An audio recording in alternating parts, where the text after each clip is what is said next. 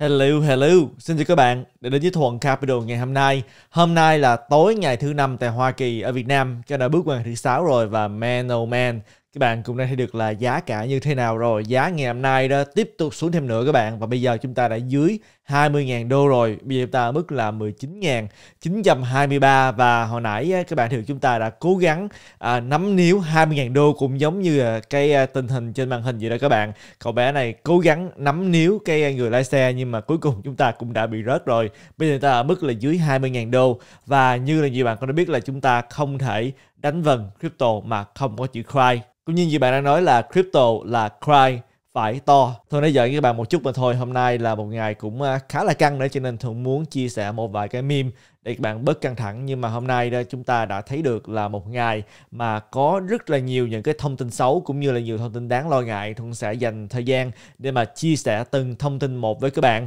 Như mới nào mà đã theo dõi à, mạng xã hội của Thuận Capital thì cũng đã nắm được nhiều cái à, thông tin chi tiết rồi. Nhưng mà trong video này đó, Thuận sẽ giải thích nhiều hơn, tại vì nhiều khi đăng thông tin ở trên những mạng xã hội cũng không thể nào mà đăng cặn kẽ được và thần cũng muốn chia sẻ à, một số cái quan điểm của thuận như thế nào về những gì đang xảy ra nhưng mà trước khi chúng ta đi vào thêm chi tiết thì cũng như thường lệ tất cả chỉ vì mục đích thông tin và không được xem là lời khuyên đầu tư. Thì đầu tiên hết thường muốn cùng các bạn xem cái trang à, CoinClass. Đây là một trang thống kê những cái lệnh bị thanh lý gần đây. Thì hôm nay đây chúng ta có một số những cái lệnh xấu dẫn đến là có người bán BTC của mình và thêm vào đó nữa, chúng ta cũng có một số định lon bị thanh lý. Tuy là không nhiều lắm các bạn, nhưng mà khi các bạn nhìn vào một thời gian ngắn, nó giống như là trong phạm vi khoảng chừng là một giờ đồng hồ, thì lúc đó thực sự là có nhiều định lon bị thanh lý. Cả ngày hôm nay đó, tuy các bạn thấy được là chỉ có 306 triệu lệnh ờ, bị thanh lý mà thôi. Thường đó, con số này phải lên tới là 1 tỷ 2 tỷ mới gọi là cao. Nhưng mà nếu chúng ta nhìn vào cái thống kê theo từng giờ mỗi một thanh này là một giờ đó các bạn. Thì các bạn thấy là chúng ta đã có à, một thời gian ngắn cái phạm vi này à, lúc mà giá của BTC à, xuống còn khoảng chừng là 20.843 đô thì các bạn thường là trong phạm vi một giờ đó thôi. Đã có tổng cộng là 116.3 triệu lệnh non bị thanh lý rồi. Con số à, không hề nhỏ đâu trong phạm vi ngắn đó. Bây giờ non thanh lý đã giảm đi nhiều rồi. Các bạn thì chúng ta à, gần đây nhất à, chỉ có khoảng chừng là 1.4 triệu lệnh non bị thanh lý mà thôi. Và đương nhiên không phải là chỉ riêng BTC các bạn thì cả thì crypto ngày hôm nay đã xuống 6.7% chúng ta đã dưới 1.000 tỷ đô la rồi các bạn. Một lần nữa chúng ta lại dưới con số đó cho tổng số vốn hóa. Những đồng lớn đó thì à, xuống cũng tương tự. Chúng ta thấy được là BTC thì à, xuống 7.8% à, Ethereum xuống 7.4% những đồng khác thì xuống cũng cỡ đó. Và đồng mà tăng nhiều nhất ngày hôm nay đây chúng ta chỉ có một đồng duy nhất đây chính là Aptos, tăng 7.9 mà thôi, những đồng còn lại thì không đáng kể. Còn về đồng nào xuống nhiều nhất, các bạn thấy được chúng ta có đồng Huobi, đồng HT xuống 19% những đồng còn lại đó, các bạn thấy được là chúng ta có Synthetic Singularity.net Maker Appcoin và đồng Tron. Tất cả những đồng này đều xuống hơn 10% và không chỉ riêng crypto đâu, các bạn thì là ngày hôm nay đó, cả thị trường ờ, chứng khoán cũng rất là đỏ. Chúng ta nhìn thấy được là những cái ờ, chỉ số lớn của chứng khoán hôm nay kết thúc rất đỏ luôn. Các bạn đã nhớ là cách đây hai ngày đã kết thúc rất là đỏ. Ngày hôm qua thì có một cái sự hồi phục rất là nhẹ, hôm nay lại rất đỏ nữa. Chúng ta có thể nhìn thấy được là chỉ số ờ, Dow Jones đã giảm thêm 543 điểm ngày hôm nay xuống 1.6% S&P 500 nó xuống nhiều hơn là 1.8 và nhiều nhất là chúng ta có Nasdaq là xuống 2.05% và pre-market hợp đồng tương lai bây giờ cũng rất là tệ các bạn. Cả ba chỉ số đều đang đỏ. Và chúng ta nhìn vào à, vàng ngày hôm nay đó thì không có sự thay đổi nhiều. Ở mức là 1.833 đô trên một ounce vàng. Dầu thì à, giảm xuống một chút ở mức là 75 đô cho một thùng dầu. À, đương nhiên các bạn thấy được là ngày hôm nay thì crypto xuống nhiều nhất và rất là đỏ. À, còn à, tình hình chung đó để Hùng chia sẻ một cái thông tin ngắn với các bạn về tình hình chung trước rồi chúng ta sẽ nói tới rất nhiều chi tiết liên quan đến crypto. Thì ngày hôm nay sáng sớm thứ kỳ chúng ta đã nhận được cái à, thông tin liên quan đến cái số lượng người ở Hoa Kỳ mà họ đi xin bảo hiểm thất nghiệp lần đầu tiên đó. Cái con số đại diện cho cái số người mà thất nghiệp tuần vừa rồi thì à, chúng ta đã thấy được là con con số cũng rất là cao luôn, ở mức là 211 ngàn người đã bắt đầu xin thất nghiệp tuần vừa rồi. Và con số này cao hơn ước tính rất là nhiều, các bạn, là ước tính chỉ có 195 ngàn mà thôi. Và một tuần trước đó chỉ có 190 ngàn, thì à, điều này cũng là một dữ liệu cho thấy được chúng ta có thấy cái số lượng người thất nghiệp tăng lên. Điều quan trọng là sáng ngày mai đây chúng ta muốn xem coi là phần trăm thất nghiệp tại Hoa Kỳ là sao. À, và dựa theo tài liệu từ công ty ADP đó thì à, có khả năng là phần trăm thất nghiệp vẫn là thấp. À, tuy là các bạn thấy được là cái con số sinh thất nghiệp của tuần vừa rồi đã tăng lên. Cái này là cái sự khác biệt các bạn nên hiểu. Cái con số chúng ta đang nhìn thấy là cái số lượng người mà sinh thất nghiệp của tuần vừa rồi. Còn ngày mai đó chúng ta nhận được cái thông báo phần trăm thất nghiệp là tính tổng tháng 2. Đây là hai cái uh, giai đoạn thời điểm khác nhau. Cho nên nếu chúng ta nhận được một cái phần trăm thất nghiệp thấp cùng với là những gì mà Fed chia sẻ gần đây ra thì khả năng là các bạn thấy là Fed có thể tăng lên 0.5% và có thể giữ lãi suất cao một thời gian dài hơn là nhiều người mong đợi có thể dẫn đến là suy thoái tài chính. Và chúng ta có thể thấy được cái sự lo lắng đó nó, nó phản ảnh ở trong cái à, phần trăm lãi suất của công trái phiếu Hoa Kỳ. Chúng ta cũng đã biết được là công trái phiếu Hoa Kỳ 2 năm đó đã đạt được cái mức là hơn 5% đây là lần đầu tiên trong một thời gian dài rồi chúng ta có cái dấu hiệu này. Và nếu các bạn so sánh cái đường màu xanh bên dưới này đại diện cho cái phần trăm lãi suất của công trái phiếu 2 năm à, mà chúng ta thấy gần đây có một cái sự tăng trưởng lên tại vì các bạn thấy được là Fed tăng lãi suất của ờ, của Fed Fund Rate à, thì có, có sự ảnh hưởng gián tiếp đến công trái phiếu. Và chúng ta có thể nhìn thấy được là có một cái sự tương quan có thể nói được là tương quan âm giữa lãi suất công trái phiếu GBTC à, trong một khoảng thời gian như là các bạn thấy được là mỗi lần mà công trái phiếu có cái sự ờ, di chuyển nhanh về một xứ nào đó đó thì thường giá của BTC ngược lại. Chúng ta có thể thấy là hiện tượng nó xảy ra à, khi mà BTC bắt đầu bạn được là thời điểm đó đó thì lãi suất công trái phiếu giảm xuống giá BTC tăng lên. À, gần đây hơn là chúng ta có cái thời điểm năm 2019 đến năm 2021 à, chúng ta cũng thấy được là cái à, phần trăm lãi suất giảm giá BTC tăng. Và bây giờ đó phần trăm à, lãi suất đang mức rất là cao. Và đây cũng là một trong những cái dấu hiệu cho thấy là những nhà đầu tư họ lo lắng và họ muốn đi tìm kiếm một cái tài sản nào đó nó gọi là an toàn hơn để mà trú thân hiện bây giờ. Tại vì họ lo sợ liên quan tới là suy thoái tài chính. Và nếu như mà công trái phiếu giảm xuống cái phần trăm lãi suất thì có khả năng chúng ta có thể thấy giá của BTC tăng lên. Đây là cái sự uh, tương ứng giữa dòng tiền các bạn khi mà người ta không có để tiền vào công trái phiếu nữa thì người ta sẽ dùng tiền để mà đầu tư chứng khoán, đầu tư BTC, đầu tư những mã đầu tư khác thì dẫn đến là giá tài sản tăng lên. Đó là cái uh, cách mà thường có thể chia sẻ dễ hiểu nhất đối với các bạn. Hiện bây giờ thì không phải, hiện bây giờ đó là lãi suất công trái phiếu đang ở mức rất là cao. Người ta đang rất là lo lắng về những gì mà Fed đã chia sẻ hai ngày hôm qua về lãi suất và khả năng chúng ta có thể thấy được một suy thoái tài chính. Thì đó là cái sự lo lắng khi mà chúng ta nhìn vào cái à, tình hình à, chung của thị trường chứng khoán. Nhưng mà nói tới thị trường crypto đó thì ngày hôm nay rất là đỏ là vì một lý do khác nữa. À, đó chính là cái thông tin các bạn nhìn thấy trên màn hình thông tin liên quan đến là sàn KuCoin đã bị tổng trưởng lý New York kiện. Đó chính là tổng trưởng lý là Tisa James thì uh, đây là cái văn bản kiện chính thức đến từ à, uh, các bạn thì được là tiểu bang New York văn phòng tổng trưởng lý. Và người này đã, đã kiện công ty KuCoin các bạn. Công ty KuCoin đã tên thật là MEK Global Limited và Phoenix Fin PTA Limited và hai công ty này đó họ làm ăn với cái tên là KuCoin thì đây là cái văn bản chính thức là họ đã bị kiện bởi tổng chứng lý. Thì tổng chứng lý là Tony General. Đây là các bạn có thể hiểu đây là cái à, luật sư trưởng của tiểu bang New York. Và cái tên này đó nghe cũng quen thuộc tại vì là Letitia James à, cũng là người mà đã từng kiện một công ty lớn trong thì crypto này đó chính là công ty Tether. À, và Letitia James cũng đã từng kiện một số những công ty khác. Bây giờ họ kiện công ty KuCoin.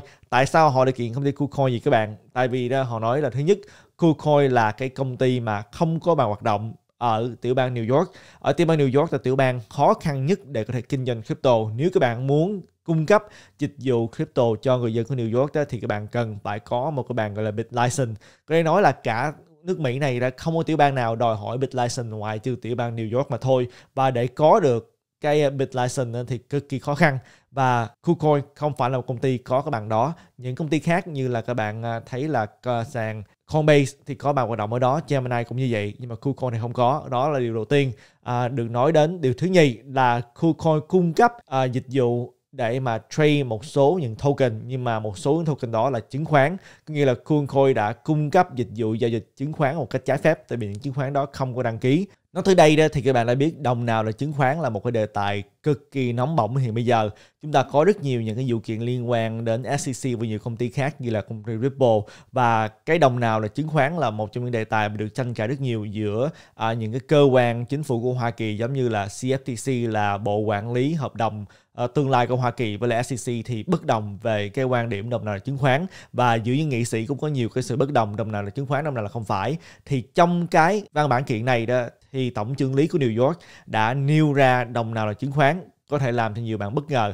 Tổng chương lý của New York đã nêu ra trước hết là Luna và USC là chứng khoán và cộng thêm đó nữa đó là để thêm vào Ethereum và đã dành ờ, một văn bản rất là dài để mà nói riêng về Ethereum, Luna và UST à, và nói là cả ba đồng này đó là đại diện cho những token đó là chứng khoán à, và đó là lý do sao mà họ kiện công ty KuCoin. Và thêm vào đó, họ nói là dịch vụ KuCoin đó thì có một cái dịch vụ gọi là KuCoin Earn. Thì KuCoin Earn này đã bản thân là một cái hợp đồng đầu tư, tại vì à, gửi tiền cho KuCoin và KuCoin dùng tiền đó để họ kinh doanh, họ staking, họ làm gì đó để kiếm được lợi nhuận. Sau đó họ chia cho những khách hàng, thì đó là một cái chứng khoán. Trong cái cách nhìn của tổng chứng lý của tiểu bang New York là Letitia James và cái phần mà chúng ta cần phải quan tâm đến nhiều nhất đó chính là cái phần thứ nhì các bạn và cái phần mà nhiều người đang hoang mang hiện bây giờ đó chính là tại sao mà Ethereum lại được liệt vào đội chứng khoán. Chúng ta còn đã biết là Ethereum là một trong à, những cái đồng mà được nói tới rất là nhiều và cho đến ngày hôm nay chúng ta vẫn chưa bao giờ nghe SEC nói chính tên Ethereum là chứng khoán hết. À, và tại sao mà tổng chân lý là Richard James lại khẳng định Ether là chứng khoán? Và điều này có ảnh hưởng như thế nào liên quan tới Ethereum? Và những cái à, đồng khác. Tại vì nếu như mà Ether bị liệt vào chứng khoán thì khả năng cao là tất cả đều là chứng khoán hết các bạn. Chỉ có BTC là không phải mà thôi. Thì Thuận đã dành thời gian để mà xem cái văn bản này nó cũng khá là dài đấy các bạn 28 trang. À, và Thuận cũng đã dịch ra cái phần mà Thuận cảm thấy là quan trọng nhất liên quan tới Ethereum thì để thuận đọc cái phần này với các bạn là sau đó chúng ta sẽ cùng nhau à, bàn luận xem coi là những cái lời nói này có ý nghĩa như thế nào. Và các bạn nghĩ sao về à, cái lập luận đến từ tổng chương lý của New York là Letitia James? Và trên căn bản đó, người này là một người mà đã từ lâu không thích crypto rồi các bạn. Cho nên ở New York đó rất là khó để mà kinh doanh dịch vụ crypto. Thậm chí đào Bitcoin cũng khó khăn ở New York. Các bạn đã nhớ gần đây đó, thì à, New York cũng đã thông qua à, một cái luật nói là những cái à, công ty đào Bitcoin nào mà không sử dụng đúng cái phần trăm cần thiết năng lượng sạch thì sẽ không thể tiếp tục đào ở New York nữa. Rồi, để thuận chia sẻ cái phần này trích từ văn bản kiện tụng chính thức. Phần đầu tiên là nói về Ethereum thì à, văn bản này nói đó là KuCoin đã cung cấp, bán và mua một loại tiền điện tử có tên là Ethereum ETH trên nền tảng của Ethereum. Đây là tiền điện tử gốc trên chuỗi khối Ethereum được tạo ra bởi Vitalik Buterin và một số người khác. Blockchain là một sổ cái phân tán duy trì một hệ thống thanh toán và biên lai cho các giao dịch tiền điện tử. Ethereum đã phát triển để trở thành một trong những loại tiền điện tử lớn nhất trên thế giới với vốn hóa thị trường hơn 170 tỷ đô la. Đây là những gì được nói tới trong văn bản kiện các bạn. Giá đã tăng đáng kinh ngạc từ mức giá ban đầu là 31 cent lên đến mức cao nhất là hơn 4.700 đô la vào tháng 11 năm 2021 và hiện được định giá là khoảng 1.600 đô la. Rồi họ bắt đầu là đi vào chi tiết tại sao họ nghĩ Ether là chứng khoán. Thứ nhất là giai đoạn ICO, giai đoạn mà bán token đợt đầu tiên thì à, cái sự phát triển và quản lý của Ethereum phần lớn được thúc đẩy bởi một số ít các nhà phát triển giữ các vị trí trong Ethereum và có lợi nhuận từ sự phát triển của mạng lưới và sự tăng giá của Ethereum. Nghĩa là họ nói là cái sự phát triển của Ethereum đó gắn liền với là một số ít những nhà phát triển. Tại vì khi mà Ethereum là một mạng lưới mà phát triển thì lợi nhuận của họ là nằm trong đó luôn. Cho nên à, họ có lợi khi mà Ethereum phát triển và tăng giá.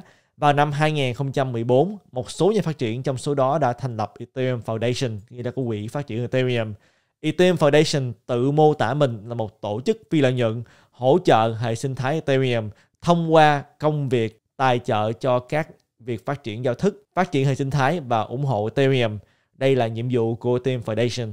Sau khi mà thành lập Ethereum Foundation, à, một đợt chào bán đồng có nghĩa là ICO đã được tổ chức trong đó đó Ethereum được bán để tài trợ cho việc tạo ra Ethereum Ethereum ICO đã gây quỹ để mà hỗ trợ sự phát triển của chuỗi khối Ethereum trực tiếp cung cấp vốn cho các nhà phát triển. Thì cái phần này có thể nhiều bạn cảm thấy là có hiểu tại sao mà Ethereum được bán để tài trợ cho việc tạo ra Ethereum. Tại vì lúc đó vẫn chưa có các bạn đây là một hợp đồng mà thôi. Khi mà họ chào bán ICO đó thì người ta mua ICO để nhận được Ether sau đó. Tại vì lúc đó vẫn chưa có họ dùng cái đó để mà bắt đầu là thành lập Ethereum và mới bắt đầu là có đồng Ethereum như chúng ta biết ngày hôm nay. Và đương nhiên cái số tiền đó, đó là dùng để mà cung cấp vốn cho những à, người mà phát triển mạng lưới Ethereum. ICO được điều chỉnh bởi các tài liệu bao gồm điều khoản và điều kiện bán Ethereum Genesis và việc sử dụng doanh thu được đề xuất, gọi chung là tài liệu ICO, mô tả việc bán đồng như là một cái phương tiện thúc đẩy sự phát triển của chuỗi khối Ethereum bằng cách thanh toán các chi phí phát sinh bởi các nhà phát triển, thanh toán cho các tình huống pháp lý, thanh toán cho chi phí nghiên cứu và phát triển. Đây là mục đích mà bán ICO dùng tiền để mà làm những cái việc này. Ethereum Foundation và Buterin đã nhận được một phần tài trợ huy động được trong ICO của Ethereum, có nghĩa là cái quỹ Ethereum Foundation và bản thân của Vitalik cũng nhận được một phần à, tiền đến từ việc bán à, token Ethereum lúc đó. Buterin và Ethereum Foundation đã, cũng đã nhận được một lượng Ether đáng kể kể từ ICO, có nghĩa là cái quỹ Foundation và bản thân Vitalik Buterin cũng à, nhận được một số Ether và được cho là vẫn đang giữ phần đáng kể của y từ đó cho đến ngày hôm nay đây là cái điểm đầu tiên mà là T-shirt James nêu ra. Thật ra khi mà chúng ta đọc cái cách hoạt động này đó nó cũng tương tự như tất cả những ICO, những cái dự án bán token chúng ta có bây giờ mà thôi. Cho nên đối với người mà trong thị trường này đó thì cái cách làm này cũng không gì gọi là quá lạ đâu và thật ra ICO đầu tiên mà chúng ta biết đó chính là Ethereum à, và đương nhiên lúc đó đó thì đội Ethereum bán là lấy một phần tiền và họ cũng giữ một cái số lượng Ether để tiếp tục phát triển Ethereum cho đến ngày hôm nay. Bản thân của và Vitalik cũng có, nhưng mà ý của Leticia James đó chính là chúng ta đừng có quên là bản thân của và Vitalik Buterin và cái quỹ Ethereum Foundation vẫn đang lưu trữ Ether kể từ ngày đó tới bây giờ. Có nghĩa là bà ta muốn tạo ra một sự gắn bó liên quan tới tài chính giữa hai bên và điểm thứ nhì đó là chuyển đổi sang staking. Buterin và Ethereum Foundation vẫn giữ được ảnh hưởng đáng kể đối với Ethereum và thường là động lực thúc đẩy các sáng kiến lớn hơn trên chuỗi khối của Ethereum, tác động đến chức năng và giá cả của Ether. Thì cái điểm này à, nói là sau bao nhiêu năm thì cái sự ảnh hưởng của bà Tyler Boudreau và cái quỹ phát triển Ether Foundation này à, vẫn rất là cao. Cái sự ảnh hưởng cao đến nỗi mà nó có thể ảnh hưởng đến giá cả của Ether luôn tại vì họ là những người mà thúc đẩy à, những cái bước kế tiếp của team sẽ ra sao. Buterin và team Foundation đã đóng vai trò quan trọng trong việc tạo điều kiện cho sự thay đổi cơ bản gần đây à, của phương thức xác minh giao dịch từ bằng chứng công việc nghĩa là à, uh, proof work nghĩa là đào đó sang bằng chứng cổ phần nghĩa là staking. Một nhà phát triển đây là một cái à, lời nói trích lại mà thôi của một nhà phát triển uh, nói là đã làm việc để tạo ra phần mềm cần thiết cho quá trình chuyển đổi từ proof work và proof stake. Và cái uh, nhà phát triển này đã tuyên bố rằng nhóm của anh ta đã được Ethereum Foundation cho phép để làm việc chuyển sang bằng chứng cổ phần thật ra đây là nói phiến diện của một người mà thôi. Ý của Leticia James nói là có một uh, developer một nhà phát triển phần mềm uh, nói là được Ethereum Foundation cho phép để chuyển Ethereum sang Proof Stake. Nhưng mà thật ra sự thật chúng ta cũng đã biết là bất cứ ai cũng có thể đưa ra một đề xuất cho mạng lưới của Ethereum. Bất cứ ai cũng có thể à, cung cấp phần mềm. Tại vì đây là một cái phần mềm mở mà. Cho nên trên căn bản đó Ethereum Foundation cho phép cũng không hẳn là đúng đâu các bạn. Tất cả các bạn đều biết bây giờ là bỏ phiếu. Các bạn cũng có thể lên trên Ethereum Foundation bây giờ à, để mà đưa ra à, một cái sáng kiến gì đó một cái đề xuất để mà thay đổi Ethereum rồi xem coi mọi người có ủng hộ hay là không. Giống như các bạn thấy được là cái đề xuất EIP 1559 á, đã được đưa lên và đã được bỏ phiếu nhiều lần rồi, rồi sau chúng ta mới được thông qua đó chính là cái giao thức cuối cùng là chúng ta có cái à, chế độ đốt đồng như là ngày hôm nay cho nên cái phần này đó cũng không hoàn toàn đúng thực đâu. Có thể là người này tuyên bố như vậy để cho mọi người có lòng tin hơn nhưng mà trên căn bản Ethereum Foundation không phải là đơn vị duy nhất cho phép mọi thứ đều cần phải được bỏ phiếu được thông qua ở trên mạng lưới của Ethereum thì mới à, có thể bắt đầu thực hiện cái cập nhật đó được. Và các bạn có nên nhớ là chuyển đổi qua hệ thống proof stake đó, thì lúc đó những cái máy nô à, những thợ đào lúc đó thì đều có quyền được lên tiếng các bạn và họ cũng à, đều có những động thái là hỗ trợ hay là không hỗ trợ các bạn cũng nên nhớ rồi cho nên không phải dựa theo một người hay một nhóm nào hết. Nhưng mà đây là điều mà được nêu ra bởi là James tổng chương lý của New York. Ký đó thì họ nói là các giao dịch chỉ có thể được nhập trên blockchain sau khi chúng được xác minh hoặc xác thực dưới hệ thống đào ra proof work các máy tính trên mạng Ethereum đã cạnh tranh để trả lời một câu đố toán học nhằm xác minh các giao dịch trên blockchain và nhận phần thưởng bằng Ethereum. Tuy nhiên, theo staking đó, có nghĩa là chế độ hiện giờ của Ethereum, người xác thực cầm cố hoặc là đặt cọc hay là staking đó, cổ phần của họ trong mạng lưới Ether và được chọn ngẫu nhiên để xác minh các giao dịch trên blockchain và nhận phần thưởng bằng Ethereum. Họ nói đây là cái cách uh, quản lý của Ethereum đã khác với lại trước đó. Trước đó là Ethereum là giao thức là Proof of Work, bây giờ là Proof of Stake là sử dụng cổ phần mà thôi để mà xử lý những giao dịch. Trước đó nữa là sử dụng uh, những cái máy tính để mà giải mã những cái bài toán, nghĩa là cái hệ thống đào trước đây. Sau khi mà chuyển sang staking Ether không còn dựa vào sự cạnh tranh giữa các máy tính mà thay vào đó bây giờ dựa vào phương pháp khuyến khích người dùng sở hữu và nắm giữ Ether. Việc chuyển sang staking đã ảnh hưởng đáng kể đến chức năng cốt lõi và các ưu đãi để mà sở hữu Ethereum. Bởi vì chủ sở hữu của Ether hiện có thể kiếm được lợi nhuận chỉ bằng cách tham gia staking. Thì cái mà The Teacher James nói đây đó là bây giờ Ether nó đã chuyển thành một cái gì đó giống như là đầu tư một người nào đó hoàn toàn họ có thể là đi mua Ether rồi họ tham gia vào staking đã có lời đó là một cái dạng như là đầu tư gì đó khác với trước đây. Trước đây người ta có thể mua Ethereum nhưng mà lời hay không lời là do thị trường lên xuống. Chứ không phải là đem Ether staking được tại vì trước đó là hệ thống đào các bạn muốn có Ether à, thì các bạn cần phải tham gia để mà cạnh tranh máy đào bây giờ chỉ cần có Ether là sẽ có thêm Ether. Thì đó giống như là một cái dạng đầu tư. Ý nghĩa của cái phần này là như vậy. Điểm thứ ba được nói đến à, bởi là Teacher James à, đó chính là Ether được quảng bá như là một khoản đầu tư các nhà phát triển của Ethereum đã quảng bá nó như một khoản đầu tư phụ thuộc vào sự phát triển của mạng Ethereum. Ví dụ, Ethereum Foundation lưu ý trên trang web của mình rằng nhiều người dùng Ether coi đó là một khoản đầu tư tương tự như Bitcoin và các loại tiền điện tử khác. Ngoài ra, tài liệu ICO bao gồm các tuyên bố rằng lạm phát của Ether sẽ chậm lại đáng kể theo thời gian, dẫn đến Ether ngày càng trở nên khan hiếm và do đó có giá trị hơn. Thật vậy, Ethereum Foundation tuyên bố trên trang web của mình rằng người dùng Ethereum coi nó như là một kho lưu trữ giá trị kỹ thuật số vì việc tạo ra Ethereum mới chậm lại thời gian, kể từ khi mà chuyển sang hệ thống đồng thuận bằng chứng cổ phần, có nghĩa là staking, đề xuất giá trị đã thay đổi đáng kể vì sở hữu Ether chuyển trực tiếp thành tiềm năng lợi nhuận bằng cách kiếm phần thưởng staking. Các tài liệu ICO mà được nói đến bởi tổng chương lý là Teaser James đã có từ năm 2014 rồi. Các bạn cũng đã biết năm nay năm mấy rồi, năm nay năm 2023 có nghĩa là 9 năm trước Ethereum đã có ICO và bây giờ đó những cái dự án họ đã cẩn thận hơn họ đã dùng những cái à, từ ngữ để mà tránh cái sự quan sát của những cơ quan chính phủ à, để mà tránh người ta nghĩ đây là một chứng khoán. Nhưng mà các bạn đã biết là Ether coi như là ICO đầu tiên. Cách đây 9 năm thì những cái à, cách truyền đạt nó cũng không có cẩn thận đâu các bạn. Cho nên những tài liệu mà là Teacher James nói đó khi các bạn nhìn vào tài liệu quảng bá ICO thì thật sự là lúc đó nó cũng có những cái từ ngữ đó giống như là khuyến khích người ta đầu tư vào mạng lưới của Ethereum. À, chứ không có phải là những cái dự án bây giờ họ đã cẩn thận hơn sử dụng những cái ngôn từ nó ôn hòa hơn để à, đừng có để người ta chú ý đến.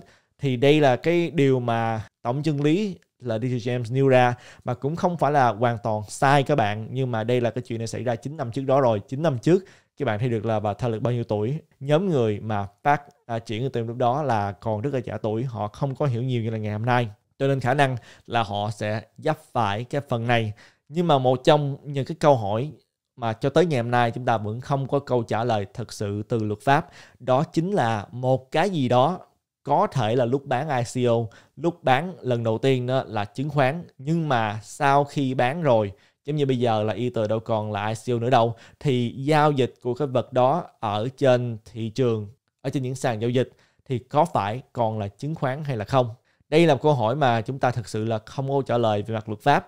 À, các bạn thấy được là có một cái vụ kiện gần đây giữa SEC và công ty Library. Cuối cùng công ty Library đó đã bị thua kiện và đã chấp nhận là cái token LBRY của họ là một chứng khoán. Thì mới ban đầu thì chúng ta thấy được là SEC đã thắng vụ kiện này rồi. Nhưng mà thẩm phán đã nói rõ là cái vụ kiện này SEC chỉ có thể chứng minh được là lúc mà bán ICO thì à, cái đồng LBRY này là một chứng khoán. Nhưng mà sau khi mà ICO rồi đó cái đồng này bây giờ giao dịch trên bất cứ sàn nào cũng không phải là chứng khoán. Tại vì luật chứng khoán không có bao gồm à, những cái à, bán dòng ngoài bán lại cho người khác và các bạn thấy nếu như mà cái lập luận đó áp dụng với Ethereum thì Ethereum bây giờ không phải là chứng khoán. Nếu như mà trước đây phát hành ICO có thể đó là chứng khoán, thì có thể là bà Vitalik hay thậm chí là Ethereum Foundation phải đóng phạt. Nhưng mà Ethereum thì bây giờ không phải là chứng khoán. Nhưng mà cái đó là cái tuyên bố của một thẩm phán mà thôi, chúng ta thật sự không được rõ ràng. Nhưng mà đây là một điểm rất quan trọng tôi muốn nêu ra. Trước khi chúng ta tiếp tục nói về Luna và UST rồi thường sẽ chia sẻ thêm với các bạn những cái gì đó nó không có được bình thường ở đây.